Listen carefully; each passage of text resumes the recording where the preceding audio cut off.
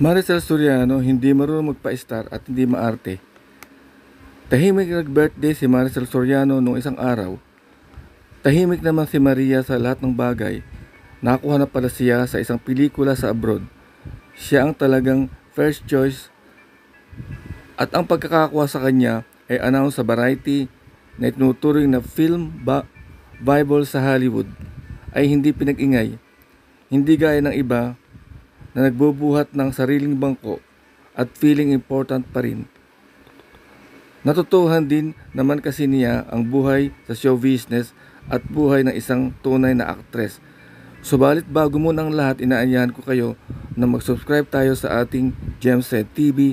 Pindutin po lamang na makaitlo upang makasure na kayo ay nakasubscribe na. Yun ang sinasabi nilang malaking kaibahan. Si Maricel ay isang aktres, hindi siya star lang. Ang mga star, yan, yan ang lagi naghahabol upang mapag-usapan yung gustong lagi sila na center of the limelight na para bang umamatay na sila kung wala na iyon. Kaya ginagawa nila kahit na ano, kahit na wala na sa ayos, mapansin lamang. Ang mga tunay na aktres kagaya ni Maricel, walang pakialam sa limelight maaari silang manahimik sa kanilang buhay dahil alam nila na oras na lumabas silang muli ay maipakita nila ang kanilang kakayahan at talent at tiyak nahahabulin pa rin sila ng mga fans.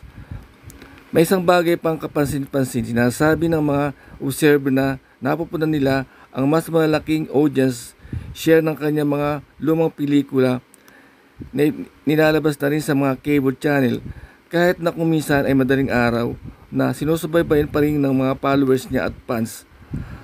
Ang tanong, bakit nga ba hindi magawa yan ng iba? Ang sagot, siguro nga ay simple lang naman.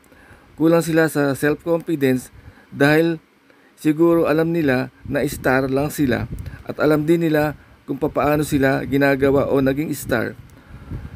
Kung bumaba na ang kanilang popularidad, sinisikap nilang mapanatili iyon sa pamamagitan ng pagpapa-star. Malaki talaga ang kaibahan ng mga tunay na aktres. Mahalata mo naman hindi sila naghahabol ng project, sila ang hinahabol ng mga projects.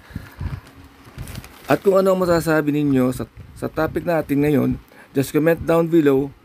Maraming salamat po at thank you for watching.